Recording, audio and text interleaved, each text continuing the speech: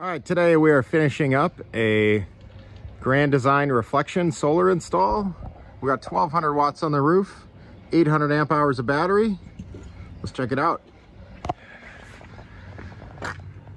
So inside we have the uh, Lynx distributor and uh, we have, as you'll notice, the light is working there. We always do the uh, special cable that enables that. So if any of these fuses blow, this light will turn red and the fuse that is blown will also turn red to indicate which one you need to replace. We got uh, 4-aught cable to all the important bits. Got the shunt here to measure uh, power in and out. For the solar charger, we went with a 150 by 100. The reason for this was we used the existing solar uh, port on this. This RV originally came with a 200 watt Furrion setup. So we were able to use that existing solar port and wiring, but we had to get the voltage up to about, uh, we ran, well, we'll talk to that later. We'll, we'll go to the roof and we'll talk about how this is all wired up. Then we also have the Orion Smart Charger for controlling charging from the 7 pin, Cerbo GX, and of course, Multiplus uh, 3, or Multiplus Plus 2, 3000, 2 by 120 Great setup here. Then behind this enclosure, we have the batteries. We are running three of the 200 amp hour uh, batteries that we sell with built-in Bluetooth and 200 amp capable BMS. And then uh, the dealer also had two 100 amp hour lithiums that we've put back here. Got our shut off fuse, 400 amp and this disconnect we kept in place for the uh, coach side. So let's go over to the other side. We did a couple upgrades there and then we'll go inside. So over here we have the disconnects or the PV in, PV out with a disconnect. And this is something we added for the customer. This is a 12 volt uh, USB plug so they can run their uh, their Levelmate Pro through this USB cord here. That was important to them and we have no problem taking care of that. So let's go inside, see what's going on. Here we have the Touch 50 color display.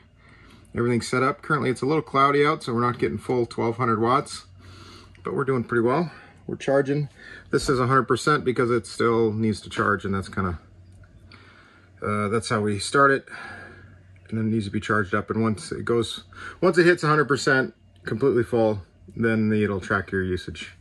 So we were able to fish tape uh, the HDMI and USB down here and then connect those up to some extensions along with the 6x3 AC cables that we had to rerun all the way to that front bay. Now these come with pre-wired 30 amp two conductor uh, inverter cabling, but that we can't use it because the Multi Plus is taking over that role. And we also disconnected the converter. That's very important. Grand Design Reflection. Nice, nice rig. Let's uh, go up top, and show you what's going on there. Okay, here's what we did for the layout for the panels. The original panel was here, and we've covered, uh, and we were able to match pretty closely the existing mounting areas, so we didn't have uh, extra holes that weren't covered with Dicor or anything like that. We are running a 3S2P setup. So three, three panels in series, three panels in series, paralleled. And uh, something to note is this connector is not a standard MC4 connector. This is some proprietary Furrion thing. So I had to adapt it to normal MC4 connectors. And I had to, uh, the customer kept the old panel and charger. So I did the same thing on those so that could be used with commodity hardware. Uh, this is the layout that made sense to us. Might be able to get another panel or two up here. I wish they'd condense more of the venting and stuff. might be able to get more. really to go anything more than that, you got to build a rack and go over some of this stuff like that. Not everyone wants to do it though. I think that'll about do it for this. If uh, you're interested in getting solar on your rig done right, give us a call check out our website, sotasolar.com, and uh, fill out the form, check out our tools. We got a great online calculator to calculate how much solar you need based on what you want to run and for how long. Check it out. It's a lot of a lot of fun. Hours, maybe even minutes of fun.